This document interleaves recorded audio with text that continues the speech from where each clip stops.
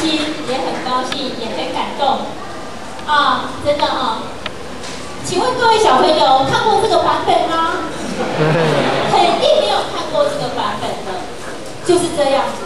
所以故事这么的感人，令人感动掉泪，令人高兴的喜极而泣。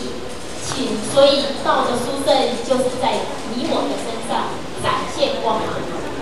我们在这边有没有发现到？我们的主角白雪公主是反串角色，有没有发现？